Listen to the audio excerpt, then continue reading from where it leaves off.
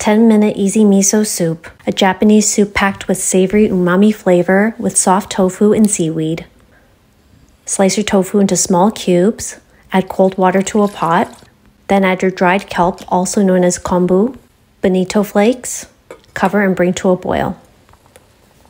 Then remove your kelp, cover and simmer on low heat for 5 minutes. Line your sieve with paper towel, run the liquid through the sieve, discarding the bonito flakes. This is dashi. Pour your dashi back into the pot, add yellow miso paste, then whisk to dissolve it.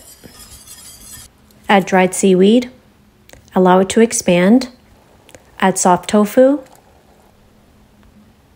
serve and enjoy. Recipe link in bio, like and follow for more.